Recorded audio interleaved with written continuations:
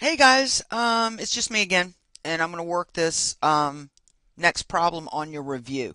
This is the one where I need you to calculate the mean, median, mode, range, variance, and standard deviation, as well as create a box plot.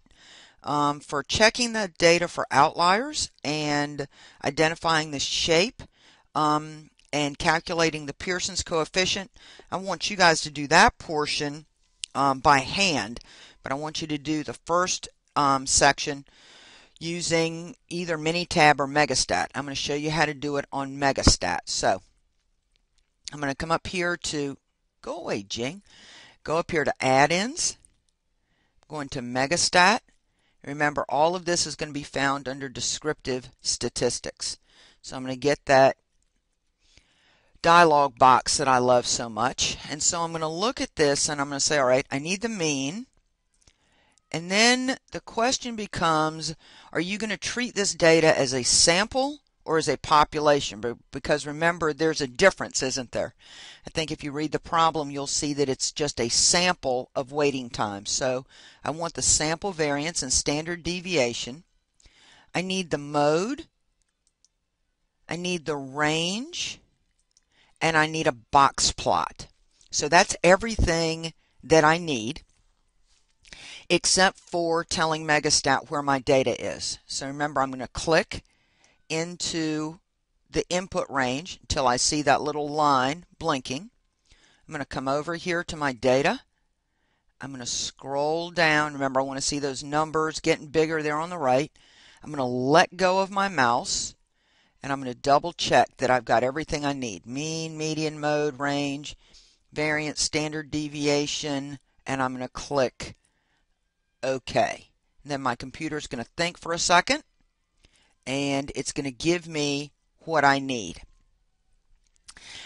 So what it's going to show me is, remember I said I needed the mean.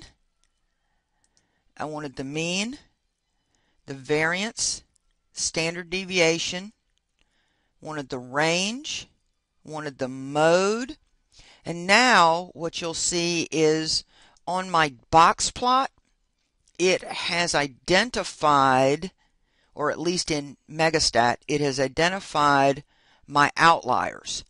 I know that I've got some low and some high outliers because remember I'm showing outliers out here in the box plot as these little dots.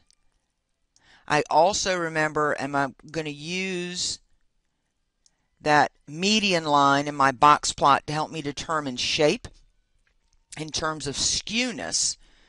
So let's see what we've got.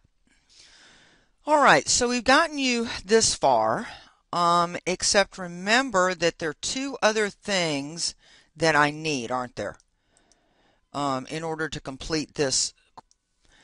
and that's that we're going to check the data for outliers.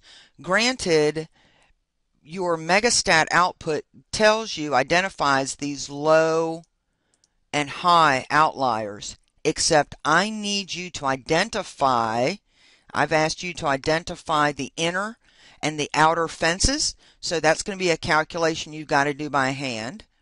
Um, I want to know something about the shape of the distribution when presented on a histogram.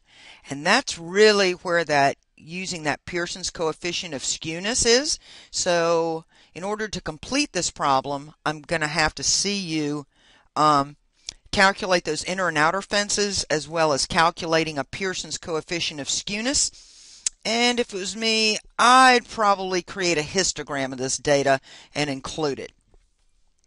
Again, like I had you do on the previous problem, you're going to need to take um, your worksheet and you're going to need to make sure to have these descriptive statistics that answered the question, as well as this box plot. They're going to need to go onto an Excel or a Minitab worksheet with your name on it. They're going to need to be printed, turned in with your exam with all the rest of your correct answers. And you know that if you have trouble printing during the exam, you're just going to raise your hand um, and I'm going to come over and help you. My recommendation is wait until you have completely finished the exam and then we'll worry about getting that stuff printed for you um, right before you turn it in. So hope this helps. Have a great day.